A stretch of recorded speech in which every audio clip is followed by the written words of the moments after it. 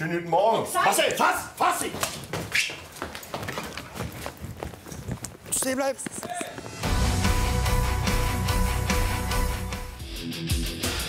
Bei dem neuesten Auftrag hat Detektivchef Carsten Stahl Praktikant Marcel Bender unter seine Fittiche genommen. Es geht um eine Familienangelegenheit. Erzieherin Femke Leitner hat die Ermittler zu sich nach Hause bestellt. Die erste Begegnung sorgt jedoch für eine Überraschung. Schönen guten Tag, Frau Leitner. Detektiv Stahl, Stahl ist mein Name. Wir hatten Termin. Äh, Sektenmitglieder, die wieder irgendwas wollen, aber wir brauchen nichts. Dankeschön. Was war das denn für ein Scheiß? Das war aber definitiv, ja, ich habe die Stimme wieder erkannt.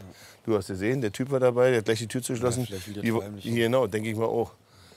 Aber ich habe dir schon mal gesagt, schneid dir die Haare. Du siehst aus wie so ein scheiß Sektenmitglied. Ja, das nicht eher in Kasso oder so? Hätte schlimmer sein können, hätte auch ein Staubsaugervertreter sein können. Ich bin ja schon als alles bezeichnet worden. Warte mal, das ist sie. Ja, Sektenmitglied Stahl. Wie kann ich Ihnen denn helfen? Ja, ich habe das. Habe ich schon. Okay.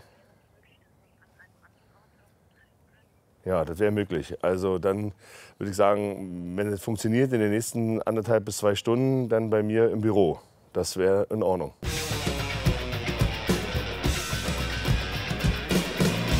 Eine Stunde nach der verhinderten Auftragsvergabe erscheint Femke Leitner in der Base und wird von Sekretärin Pamela Sommer empfangen.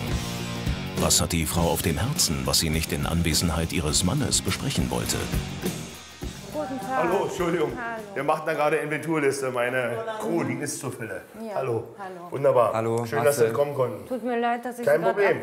Ja, darf ich Sie denn an unseren Sektentisch bitten? Kleiner Scherz, den muss ich mir Ja, jetzt erlauben. Natürlich. Die Erzieherin kommt direkt zur Sache. Ihr Mann hat vor drei Wochen seine Halbschwester bei sich aufgenommen, die das Resultat eines Seitensprungs seines Vaters war. Femke Leitner glaubt, dass die 28-Jährige eine Betrügerin ist. Sie bezweifeln, wenn ich das richtig gehört habe, dass die jetzige Schwägerin von Ihnen Ihre Schwägerin ist. Ist das Genau, richtig? genau. Also die kamen zu uns nach Hause und irgendwie bezweifle ich total, dass das die Halbschwester von meinem Mann ist. Die haben sich lange nicht gesehen, äh, im Alter von fünf Jahren das letzte Mal. Ja, ich habe ein Foto verglichen und ähm, passt gar nicht. Ein Brief von früher, den sie von, vor fünf Jahren geschrieben hat. Und wie sie sich heute ausdrückt. Und, und, und der Brief war total schön geschrieben. Gefühl war da drin und, und die Aussprache und alles. Und heute, wie sie sich benimmt, also die bringt alles durcheinander. Unsere Ehe ist, ähm, scheitert fast, kann man fast sagen. Außerdem steckt die 28-Jährige in finanziellen Schwierigkeiten und pumpt Clemens Leitner um Geld an. Der Elektrotechniker, der jahrelang verzweifelt nach seiner verschollenen Halbschwester gesucht hat, erfüllt ihr nun jeden Wunsch und vertraut ihr blind. Wir werden unsere Arbeit machen und sollte ich irgendwas finden oder wir irgendwas finden, dann werden Sie schnellstens darüber informiert und dann werden wir sehen. Alles klar. Ja, alles wir. klar, wunderbar. Dankeschön. Wir danken.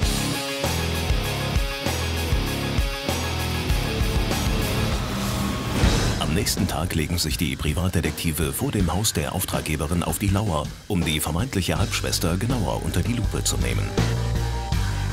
Carsten Stahl und sein Praktikant müssen sich in Geduld üben. Viel ist bis jetzt nicht passiert. Die Auftraggeberin ist zur Arbeit gefahren, der Mann ist auch nicht zu Hause. Das heißt, die Silvia, also die vermutliche oder angebliche Schwester, die ist jetzt alleine zu Hause. Keine Ahnung, was sie jetzt da macht. Ja, wahrscheinlich fühlt sie sich pudelwohl, ja, wie die Male im Speck, würde ich mal so sagen. Gut, wenn es die Schwester ist, sie haben sie aufgenommen.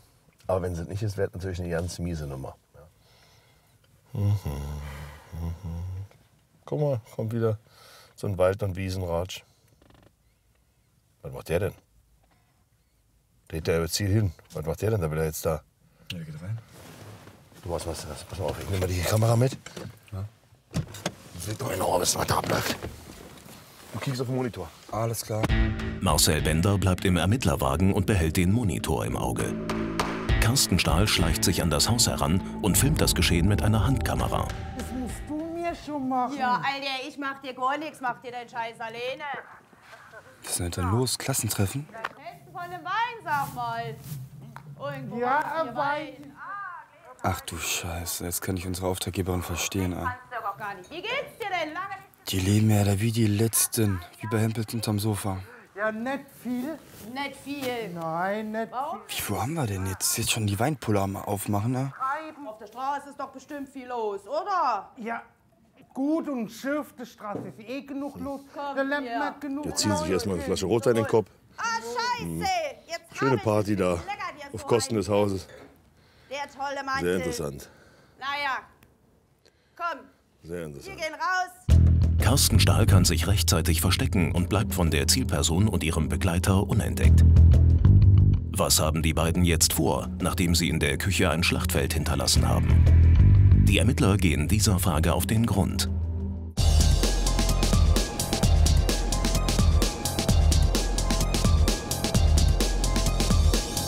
Wenig später endet die Verfolgung an einer U-Bahn-Station in der Innenstadt, die als berüchtigter Treff für Alkohol- und Drogenabhängige bekannt ist.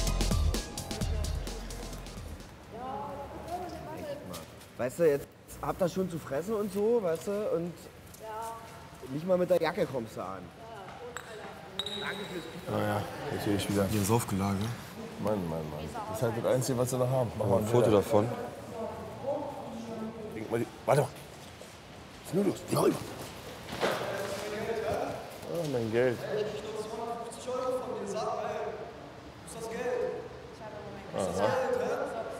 Ich sag dir, bis morgen hast du Zeit. Nicht, bist du am Arsch, ja? Glaub Die Abgründe tun sich auf. Die Auftraggeberin und ihr Mann sind auch wieder zu Hause. Femke Leitner trägt eine Knopflochkamera. Clemens, ich brauch mal deine Hilfe. Was hast deine Schwester jetzt? Geld borgen für Bewerbung und Wie, Fotos. Geld? Ja, Und kann Wofür brauchst du dein Geld? ich machen, ja. Du willst dir auch noch Geld leihen? Du hast doch gehört, wofür sie es braucht. Bewerbung und Für Bewerbung und Fotos. Wer weiß, ob du das Geld überhaupt dafür ausgeben möchtest. Na, komm. 250 Euro? Das ist ein bisschen viel, würde ich sagen, Clemens, oder? Du kannst ihr doch nicht die 250 Euro jetzt im Ernst geben wollen. Du hast doch gehört, wofür sie es braucht. Wofür braucht sie es Für denn? Bewerbung. Ah, Film ruft an. Carsten Stahl ist gespannt, was Sekretärin Pamela Sommer in der Zwischenzeit recherchiert hat. Was hat der Brief ergeben? Also, der Poststempel äh, in der Stadt hat sie äh, ein Melderegister aufgerufen und äh, mit dem Namen und äh, den letzten Arbeitgeber herausgefunden von der Silvia. Und das war an der Tankstelle. Kurz darauf machen sich die Detektive auf den Weg zur Tankstelle und hoffen dort Informationen zur wahren Identität der vermeintlichen Halbschwester zu bekommen. Es ist momentan die einzige Spur. Hallo, schönen guten Tag. Ja, schönen guten Tag. Bender, mein Name. Ähm, ich habe mal eine Frage. Und zwar ähm, hat hier mal eine Silvia gearbeitet. Ähm, das ist meine Tante. Und ich habe jetzt familiär ein bisschen was zu klären. Ich habe keine Adresse, gar nichts von ihr. Ich weiß nur, dass sie mal hier gearbeitet hat. Ich habe auch, ein- hab auch ein Foto. Kann Ihnen das mal hier zeigen? So. Hier. Das ist sie. Wie, erkennt er nicht? Das ist doch komisch, wenn die da gearbeitet hat, müsstet ihr doch kennen. Äh, Silvia Knigge. Silvia Knigge heißt sie. Knigge? Nee, nichts. Aber warten Sie mal, ich habe hier, ich bin ja noch nicht allzu lange hier, aber da hat mal eine Sylvia gearbeitet, die hat mich auch angelernt. Die war aber danach ziemlich schnell weg. Äh, die hieß aber nicht Knigge, Moment, die hieß äh, Bollmann. Wie? Genau. Doppel-L? Ja, ich denke ja. Sylvia Bollmann. Haben ja. Sie vielleicht die Adresse von ihr oder so? Ich meine, das muss doch hier irgendwo sein. Ja, das ist, also ich. Also mir ist die Information wirklich wichtig. Mir ist die Information sogar wirklich 50 Euro wert. Und ähm, vielleicht ist es Ihnen ja es wert, mir aufgrund dessen hier einfach die Adresse aufzuschreiben. nicht. 50 Euro ist natürlich Einfach egal wohin. auch nicht so Nein sagen. Schreib uns die Adresse auf. Hat sich das wenigstens gelohnt. In diesem verzwickten Fall müssen die Ermittler jedem noch so kleinen Hinweis nachgehen. Wenig später kommen die Detektive an der Adresse von Sylvia Bollmann an. Wird die ehemalige Tankstellenmitarbeiterin Licht ins Dunkel bringen? So, hier würde auf jeden Fall der Name Bollmann stehen. Aber Sie So. suchen Knigge auf jeden Fall. Das werden wir jetzt einfach mal überprüfen.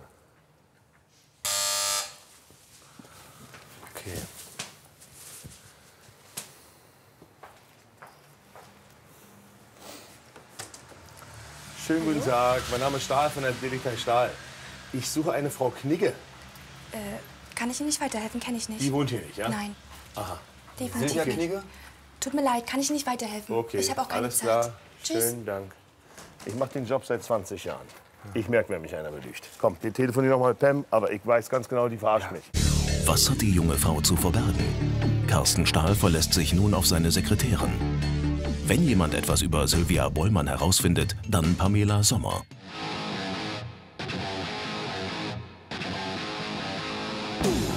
Am nächsten Tag machen sich die Detektive erneut auf den Weg zu Sylvia Bollmann. Pamela Sommer hat ganze Arbeit geleistet. Der Fall steht kurz vor der Auflösung.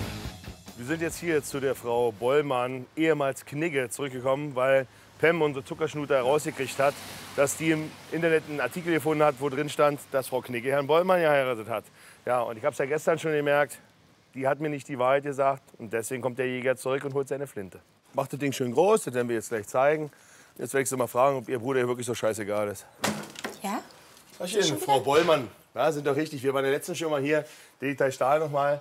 Frau Bollmann, ich hätte noch was anderes. Schauen Sie mal her, bevor Sie mich wieder wegschicken. Kennen Sie dieses Foto?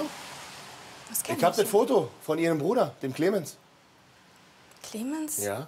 Sagen Sie mir jetzt nicht, dass Sie nicht Herrn Clemens kennen. Sagen Sie nicht, dass Sie nicht Silvia Fliege sind. Schauen Sie mal hier, Zeitungsbericht. Frau Knigge heiratet Herrn Bollmann. Frau Knigge, oder besser gesagt jetzt Frau Bollmann, ich glaube, was ich Ihnen zu sagen habe, wäre sehr wichtig und sehr persönlich. Deswegen würde es angebracht sein, dass natürlich jeder mitbekommt, dass wir uns vielleicht unter sechs Augen in Ruhe unterhalten. Sehen Sie da eine Möglichkeit? Ja, aber dann schnell. Ich. Mein Wir beeilen uns. Das- Wenn Sie uns reinlassen, sind wir schneller fertig. Dankeschön. So, Frau Bollmann, dass Sie den Namen Knigge, auf den nicht mehr gerne zu sprechen sind, das habe ich an Ihren Augen gesehen. Nochmal, das Foto, das sind Sie. Und dazu gibt es ja wohl noch ein Foto, was, ihr, was Ihrem Bruder zeigt.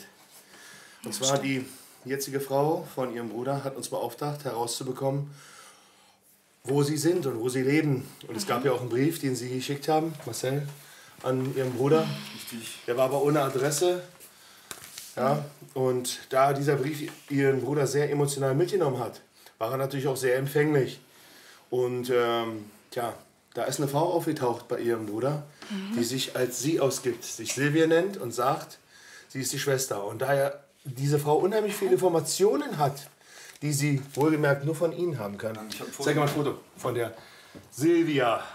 Wir glauben zwar alle nicht, dass sie das ist, aber schauen Sie mal rauf. Vielleicht können Sie mir sagen, Ich wer das ist. gedacht, ich habe echt gedacht, ich kann einen Strich unter meine Vergangenheit ziehen. Das kann ich verstehen. Ich kenne Ich viele Menschen, die das wollen. nichts damit mehr Aber zu wollten tun Sie denn auch einen Strich durch das Leben Ihres Bruders machen? Schauen Sie mal, das war hier bei so einem obdachlosen Treff. Das ist Alexa. Äh, Die hier, die, Das ist die hier Alexa. Alexa. Alexa heißt sie. Das war damals meine beste Freundin. Was, was hat sie jetzt damit zu tun? Wie und wann damals? Ich habe doch auf der Straße gelebt. Das ist ja auch der Grund, warum ich meine Vergangenheit abschließen Und will. dann haben Sie ihr alles erzählt, Ich weil hab sie ihr ihr alles anvertraut hat. Und dieses Vertrauen, was sie ihr entgegengemacht hat, das, das benutzt die jetzt schamlos und zockt ihren Das Bruder ab. Der Bruder hat halt diese Schuldgefühle, ne? Eine Stunde später erreichen die Privatermittler mit Silvia Bollmann das Haus der Auftraggeberin. Zwischenzeitlich haben sie Femke Leitner doch noch telefonisch erreicht und konnten sie über die Neuigkeiten informieren. Pass auf, machen wir anders. Geh einfach mal rein. Ich will natürlich verhindern, dass die Furie uns jetzt sieht. Geh zur Küche und kick, ob die da ist. Und dann klopf ans Fenster, soll sie zur Tür kommen. Wir wissen ja nicht, ob die da ist. Es wird natürlich jetzt zu einer Konfrontation kommen. Ja? Lassen. Wunderbar. Jetzt wird jetzt hier gleich praktisch die Frau ihres Bruders die Tür aufmachen. Hallo. Die ganze Zeit versucht, Wunderbar. Hallo. Möchten Sie mit reinkommen? Die das wäre ganz gut. schläft sie? oben, ja. Ja? Okay, ist ja auch genau ihre Schlafenszeit mitten am Tag. Kommt rein. Ich möchte vorstellen, das ist ihre richtige Schwägerin. Super. Das Freu ist die Schwester ihres Bruders. Darf ich einmal Hallo? Darauf habe ich mich wirklich schon gefreut. Ich wusste, dass da irgendwas nicht in Ordnung ist. Ich bin wirklich froh, dass wir die Kollegen dich gefunden haben. Guck mal, nee. Kommt runter. Wenn man das sieht. Schönen guten Morgen. Marcel, fass! Fass sie! Stehen bleiben! Hey! Hey, hey, hey! Lass die runter, Mann! Hey, hey, hey, komm her, komm her! Pass ist auf? Ruhe, reg dich ab! Komm her, schau, Ja. wer, schau, wer ich bin. Detektiv Stahl. Wir sind hier, um dir zu helfen und nicht um Scheiße zu bauen. Wir sind doch nicht von irgendeiner Sekte, was du denkst. Nee, Abflug, wir gehen jetzt rein. Marcel, bring sie rein. Komm mal ganz runter. Wir sind im Auftrag von deiner Frau unterwegs. Komm mit, wir helfen dir. Wir wollen dir nicht böse. Jetzt wirst du was erfahren, was dir bestimmt sehr unangenehm sein wird. Schatz, So. komm, komm einmal erst mal zu mir. Wir erklären dir alles. Hast ja versucht zu rennen, aber Marcel ist gut im Training. So, ich würde ganz gerne eine Sache vielleicht mal aufklären. Ihre Frau hat uns beauftragt, für Sie herauszufinden, ob das wirklich ihre Schwester ist, ihre leibliche, weil sie hatte ihre Zweifel und die hatte sie zurecht und auch gut, dass sie uns beauftragt hat, weil sie waren, und das muss ich jetzt mal sagen, wirklich blind vor Liebe und vielleicht auch vor Schuldgefühlen, dass sie sich jahrelang nicht Sorgen um sie gemacht haben oder darum gekümmert haben. Aber ich möchte Ihnen jemanden vorstellen, das wäre vielleicht ganz wichtig, das hier ist die wahre Silvia, das ist ihre leibliche Schwester, das ist die. Schreiberin des Doch. Briefes. Doch, das stimmt. Ich bin wirklich deine Das Schwester. Konnten wir ermitteln. Wir haben Von dem ersten geschiedenen Brief, den Sie mal bekommen haben. Und das hier ist lediglich jemand, die Herrschaften kennen sich. Aus Ja. Ihrer Vergangenheit. Unglaublich. Ich bin sowas von enttäuscht. Ich meine, es ist ja nicht das erste Mal, dass du so einen Silvia, Mist wie, machst. konntest, wie konntest du das machen? Wie heißt du eigentlich? Du heißt doch nicht Silvia. Ist das überhaupt dein Wie heißt richtiger doch ganz Name? anders. Wie heißt sie? Alexa, Alexa, ist das. Hast du schön die Informationen, die die, die Silvia in Vertrauen in ihrer Trauer ergeben hat, hast du ausgenutzt, um hier Menschen abzuzocken. Echt, echt scheiße. Meinen, dass es dir scheiße geht, verstehe ich ja. Aber da muss man nicht noch so eine Scheiße bauen, ganz ehrlich. Selbst Leute, die dir helfen wollen. Wir haben zusammen auf der Straße damals gelebt. Das heißt, war du bist meine richtige Schwester jetzt.